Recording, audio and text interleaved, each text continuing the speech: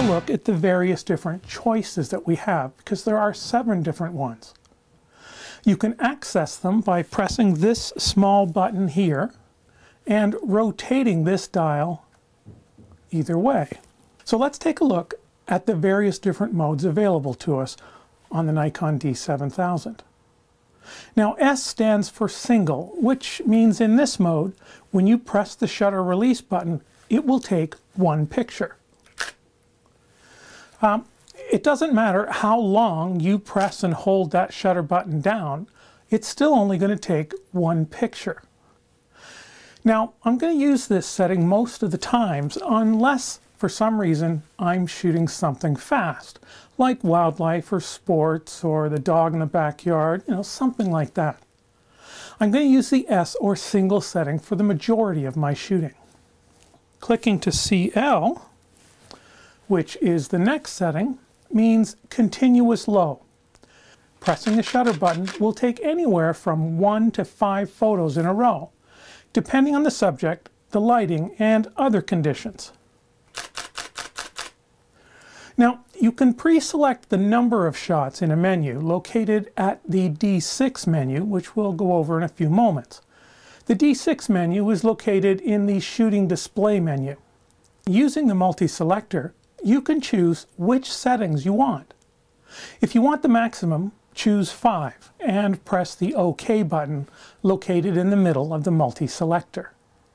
Uh, moving on to CH, well, this means continuous high speed. Now the D7000 can take a maximum of 6 frames per second, which is amazing for a camera at this level. And in fact, as you can see, it'll shoot more than the 6 if you keep pressing it. Now I'm definitely going to use this when I'm shooting sports and wildlife, the dog in the backyard, the kids in the backyard, you know, that sort of thing. Now remember, you'll only get 6 frames per second under the following conditions. First, your memory card must be a high quality memory card and a high speed memory card. I'll talk more about memory cards later in this DVD. Second, you need to be shooting at a relatively fast shutter speed, perhaps 1 25th of a second or even faster. Third, so your focus needs to be pretty steady. In other words, locked on one subject. More about this later on. When all those conditions meet, you can expect to shoot at 6 frames per second, which is pretty cool. Q stands for quiet shutter.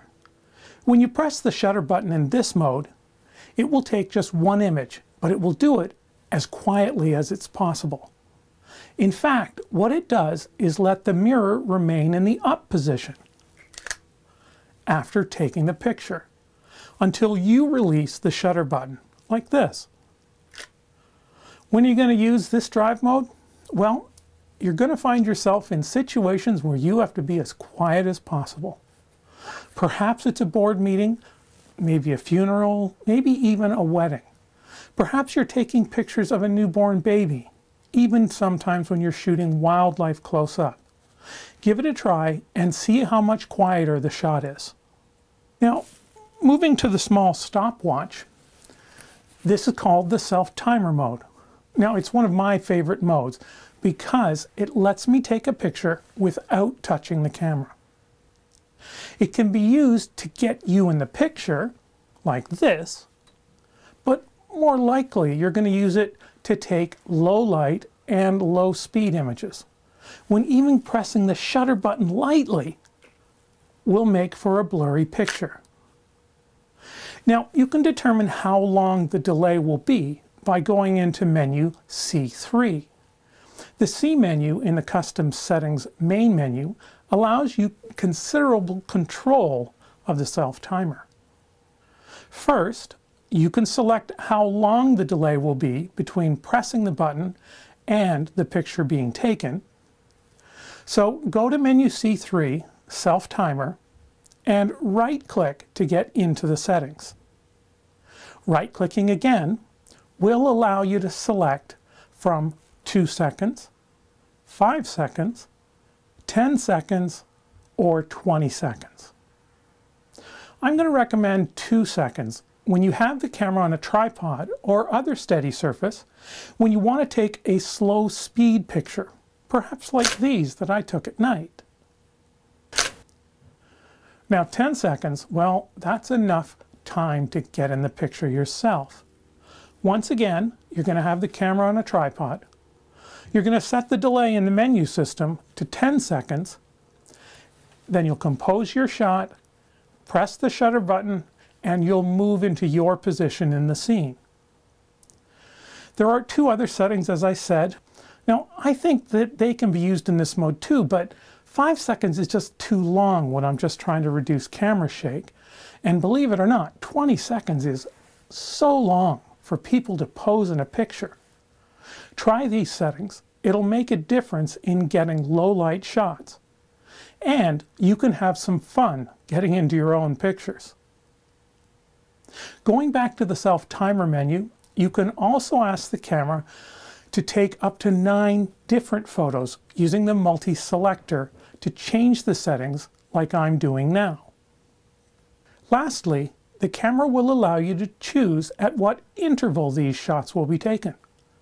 So you can use this to capture different looks in a family portrait. Experiment with this and select your favorites. One thing to note, when you press the shutter button in this mode, the autofocus assist light will turn on. This next drive mode setting is this little remote control. You can purchase an inexpensive remote control for your camera from Nikon. It's called the ML L3 and it's typically priced under $30. Now with this remote, you can trigger the shutter from a distance of up to 5 meters or 16 feet.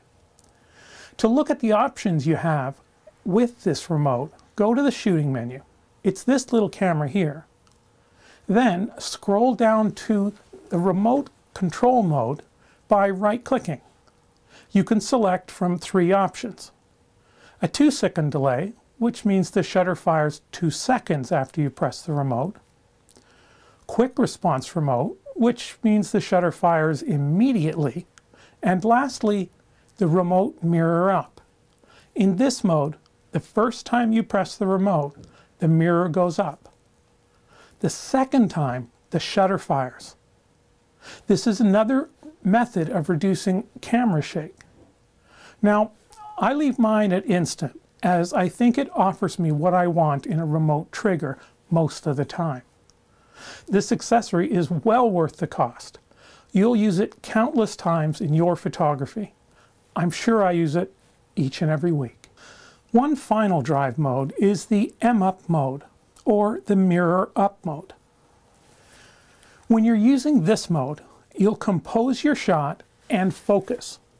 Then press the shutter release button once, which will raise the mirror.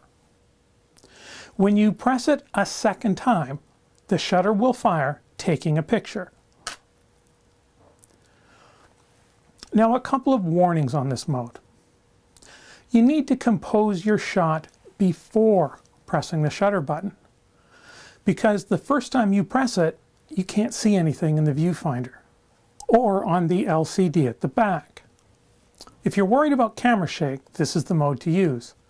I'll say I rarely ever use this mode. I think the remote or self-timer is fine to minimize camera shake. But if it's a super long exposure where even the little bit of shake will cause a problem, go to mirror up.